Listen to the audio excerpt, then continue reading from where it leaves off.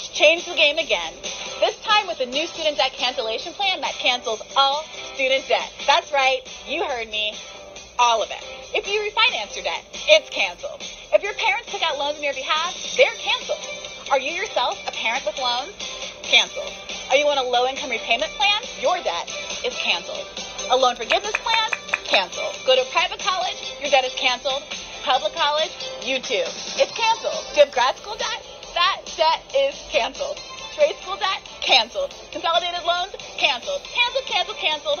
All student debt is canceled.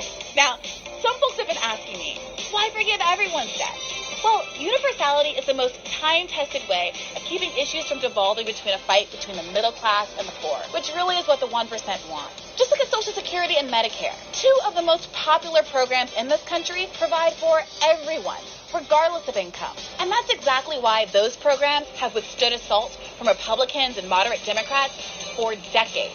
All while programs like food stamps, Section 8 housing, and welfare, even the ACA, have come under assault. Everyone's grandma benefits from Social Security. So it's hard to pitch it as a program for the quote unquote undeserving poor. Also, it's important to realize that it's not enough just to have a good idea. You need a plan to implement that policy and to protect it for future generations long after it's in effect. That's why this campaign prioritizes coalition building. It's not me, it's us. None of us are free until all of us are free. Now, how will we pay for it? And how much will it cost? The plan will cost $1.6 trillion.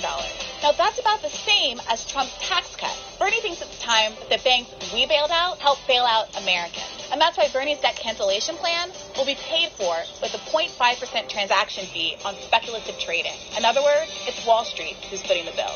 So, who does this help? Bernie's plan will help 45 million Americans, the overwhelming majority of whom are low income or middle class. 80% of all student debt is held by those making less than $127,000 a year. And families making less than $60,000 a year took out 280% more student loan debt than families making over 100K, according to a 2013 study. Now, some people, including Third Way, have been arguing that this plan is a giveaway for the rich. But rich people don't have student debt. Rich people don't need to take out high interest loans to pay for school. They're rich.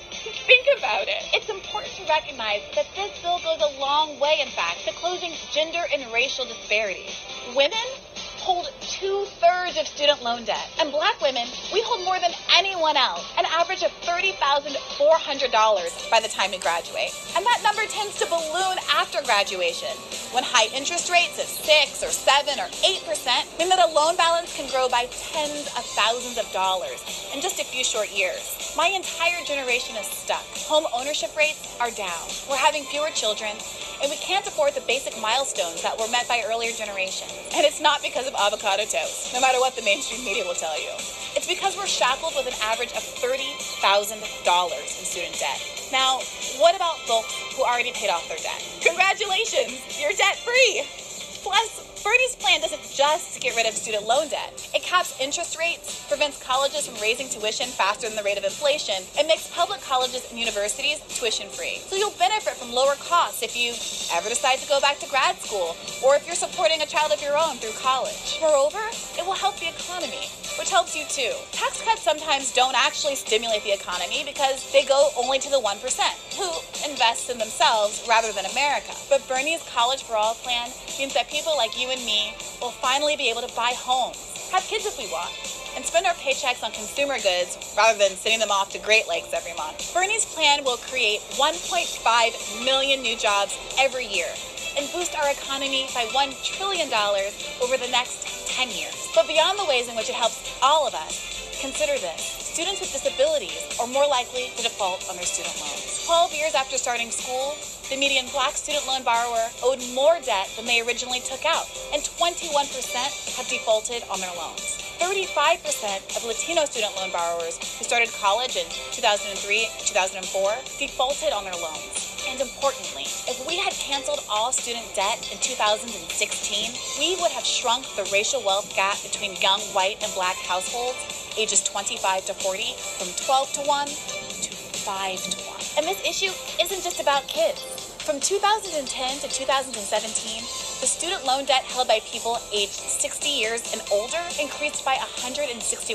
That's the largest increase of any age group to a total of $86 billion. 40,000 seniors had their Social Security checks garnished to pay for student loans in 2015. This is a crisis that extends beyond race, age, gender, or ability, but it's one that we can tackle together.